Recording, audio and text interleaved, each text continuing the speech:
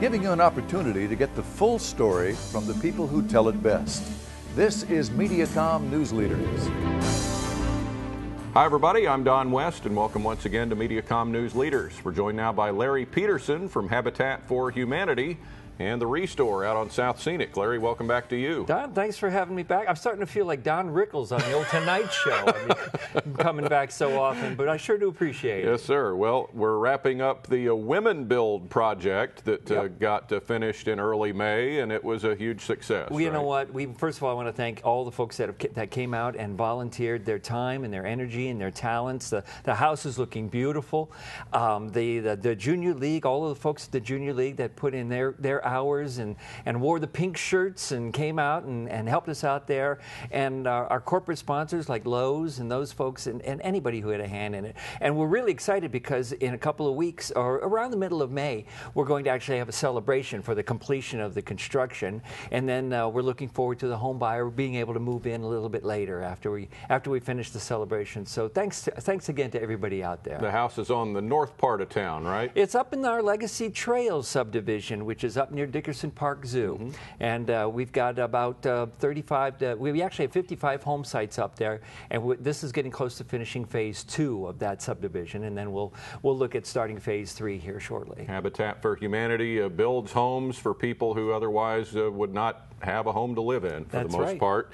Uh, how many women did you have out for Women Build? All of them, I think. I mean, uh, we, I, I, don't know the exact number, but uh, we were looking at over the total project of, of upwards of 800 volunteers. Nice. And, uh, and that's really why we are able to sell the homes. We don't give away homes, as mm -hmm. you mm-hmm. know, we sell the homes to the partner home buyers at a lower cost and a zero interest loan because of the volunteer labor that's provided. Larry, tell us about the biggest challenges for Habitat right now. I'll tell you, we're having a great year. Uh, I'm, I'm, very excited, but what we really need are, is to help get the word out about the program and for people who, who may not know that they could uh, qualify for a home. We need more people to come in and uh, apply and see if they could qualify for a Habitat home and see if they can uh, uh, qualify because of income and they have to be willing to partner with sweat equity and then have to be uh, willing to uh, pay their mortgage. Yeah, yeah, and then comes the work part of building the home. Right? Exactly. yes, they have to swing a hammer or work in the restore and all that kind of stuff. Yeah.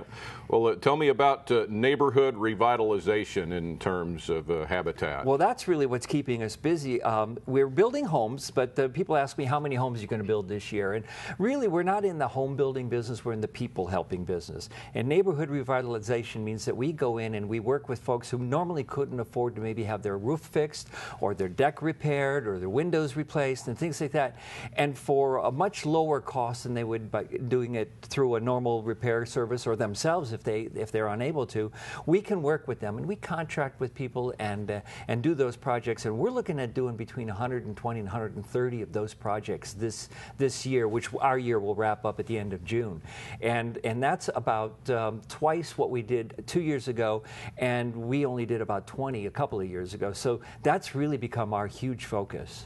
And a great uh, resource for Habitat for Humanity is the Restore out on the South Scenic across from Horton Smith Golf Course. You can find just about anything that has been donated for a much cheaper price than you would get it uh, new at a retail store. So that's a great moneymaker I'll tell you, And we, we want to thank uh, Kelly. We just got a, uh, Kelly Green Apartments is renovating, so we're getting uh, refrigerators and, wow. and uh, um, stoves and ovens and microwaves.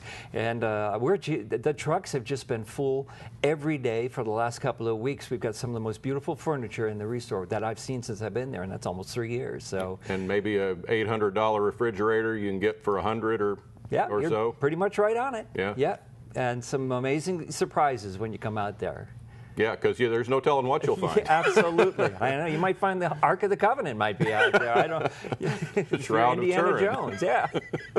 Larry, thanks as always for being here. Good stuff from Habitat for Humanity. HabitatSpringfieldMo.org is the website for information for this uh, great organization that builds homes for people who wouldn't otherwise be able to uh, have a home.